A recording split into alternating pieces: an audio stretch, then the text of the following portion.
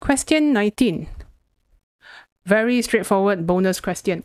Which expression is equal to the stress on a wire? Well, um, stress definition is force per unit area because it kind of have a same unit as pressure. So the answer is B long. So just to finish off our brain, extension per unit original length is strain.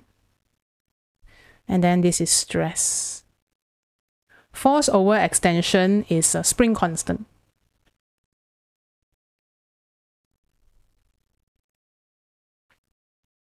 Okay, Young modulus over original length. So in case you don't know, Young modulus, again, this is just for revision purposes or to milk the question. The symbol for Young modulus in your syllabus is E. I don't know why, but they use E. Okay, so it's the ratio of stress over strain. So you are going to take extend the stress, which is F over area, divide by extension over original length. So from here, your Young modulus will be F over A, E over L.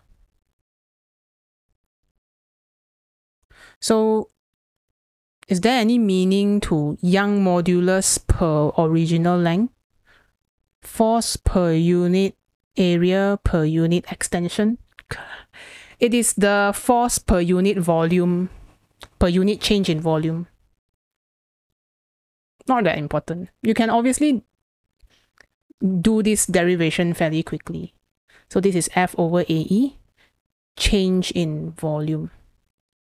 We are assuming that the cross-sectional area change is negligible, but if you stretch anything, you know that the thinner it, the longer you stretch it, the thinner it will be. So it's, it's a very uh, crude uh, assumption that we are making that whenever you use your Young modulus, unless stated otherwise, that your area stays the same.